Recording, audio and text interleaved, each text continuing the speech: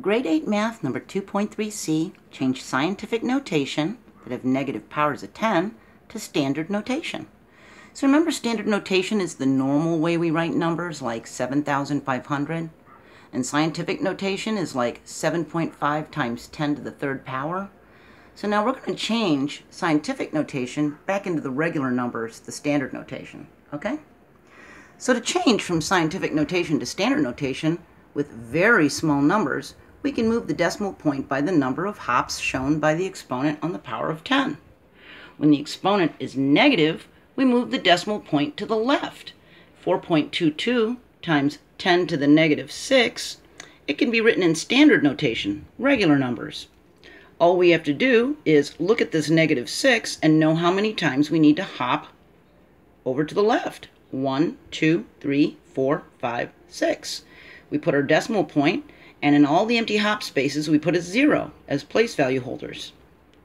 The negative exponent tells us the number will be less than 1, so we know it's going to be a decimal. So we move the decimal left. So now we know our answer is 0.0000422. See? We can also figure out which number is larger. If we've got 3 times 10 to the negative fourth and 4 times 10 to the negative third, you can just look at these and tell which number is larger. This number is larger. And you know why? Because that negative 3, it's larger because the negative exponent is closer to 0. The bigger that negative exponent becomes, negative 5, negative 6, negative 7, the more zeros we're going to be adding. See? And that means this decimal number is going to get smaller and smaller and smaller, and we're going to get past the decimal point into the millions and billions and trillions, and it's going to slowly get more and more this way into tinier and tinier numbers. See? So if it's a smaller negative number, that means it's closer to the decimal point. See? If it's a larger negative number, that means there's more zeros in between the number and the decimal point. So we know this one's larger. It's four thousandths, four one thousandths, and this is three ten thousandths. That's much smaller. Each time the decimal hops to the left, the number's values decrease. See?